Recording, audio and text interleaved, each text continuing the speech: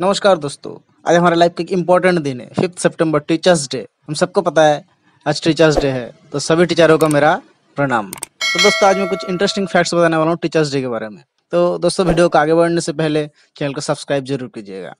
तो चलिए fact number one क्या आपको पता है 1962 फिफ्थ सितंबर से पहले इंडिया में टीचर्स डे नहीं मनाया जाता था?